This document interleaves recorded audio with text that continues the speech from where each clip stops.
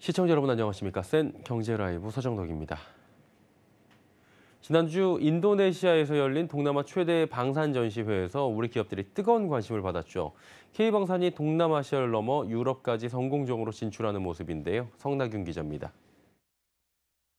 내년부터 유럽 지역에 국산 다연장 로켓 천무가 공급될 예정입니다.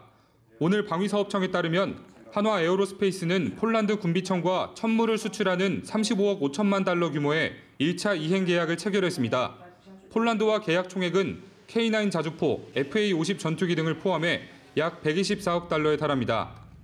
유럽 국가들의 K방산 러브콜은 폴란드에만 그치지 않습니다.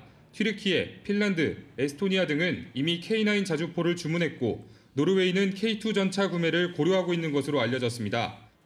K방산의 인기에 올해 우리나라 방위산업 수출 수주액은 지난해 두 배가 넘는 170억 달러를 기록했습니다. 방위사업청 관계자는 170억 달러 규모의 수출액은 우리나라 연간 무기 수입 규모를 상당히 초과한 것이라고 평가했습니다. 우리나라 기업들의 무역 수지가 좀 부진한 모습을 보이고 있는 가운데 방위 산업에서 이제 긍정적인 뉴스들이 많이 나오고 있는데요.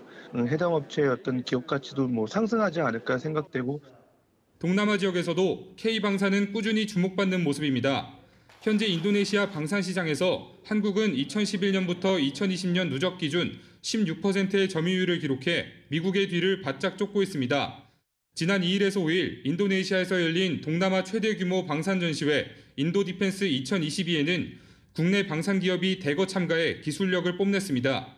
대우조선해양은 3,000톤급 DSME 3,000, 군수지원함 MRSS 등의 모형을 선보이며 잠수함 시장 확대에 나섰고 한국항공우주산업은 경공격기 FA50, 초음속 전투기 보라매 KF21 등의 축소 모형을 선보였습니다. LRG 넥스원은 대전차 유도무기 현궁과 휴대용 지대공 유도무기 신궁 등을 전시했습니다. 중소기업들도 무장 수송 차량, 가상 사격 훈련 시스템, 야간 투시 장비 등을 홍보하며 현지 관계자들의 관심을 모았습니다. 나상웅 한국방위산업진흥회 상근 부회장은 한국 방산 수출이 이제 일정 궤도에 올라갔고 당분간은 떨어지지 않을 것이라고 평가했습니다. 우리 기업들이 동남아 지역을 넘어 유럽까지 성공적으로 진출하면서 방위 산업의 성장성에 기대감이 커지고 있습니다. 서울경제TV 성나균입니다.